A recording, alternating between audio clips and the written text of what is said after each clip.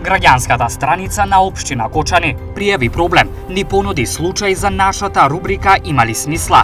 Таму иронично откриваат нов изум на Обштината и градоначалникот, како ефикасно да се справат со проблемот отворена шахта.